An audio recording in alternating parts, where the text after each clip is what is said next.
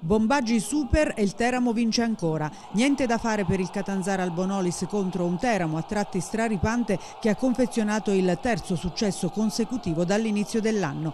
È finita 1-0 per i biancorossi grazie al gol di Bombaggi, l'ottavo per lui, messo dentro al 43 del primo tempo dopo che al 21 era già andato vicino alla marcatura stampando la palla sulla traversa. Nel primo tempo i ragazzi di Tedino hanno dominato per poi controllare molto bene nella ripresa il vantaggio. Bombagi trascinatore di una squadra che sembra aver trovato il giusto equilibrio e soprattutto la giusta posizione in classifica, il sesto posto.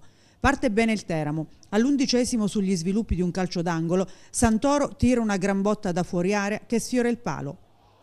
Al sedicesimo occasione per il Catanzaro, errore in disimpegno di Cristini, ne approfitta Nicoletti che serve Giannone che tira centrale tra le braccia di Tomei.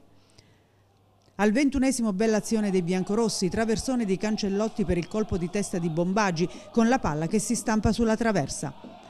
Al ventiquattresimo Birligea cade in area su netta spinta di Martinelli ma l'arbitro non fischia.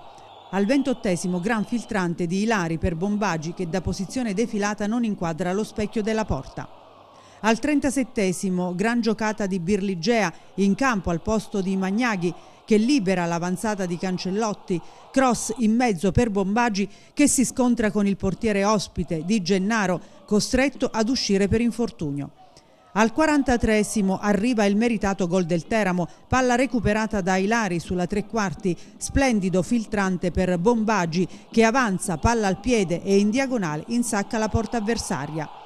Nella ripresa i biancorossi controllano bene la gara, si susseguono i cambi. Nel Teramo, nel corso del secondo tempo, Magnaghi entra per Birligea, Viero per Ilari, Soprano rileva Bombaggi.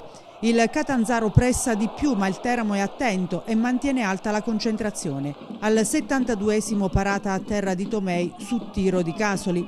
L'ultima azione degna di nota per il Teramo arriva all'85esimo. Assist di Costa Ferreira per Magnaghi che calcia col mancino e il portiere devia in angolo. I biancorossi escono tra gli applausi meritati del Bonolis e già con la testa alla trasferta di domenica a Castellammare di Stabia dove affronteranno la Cavese.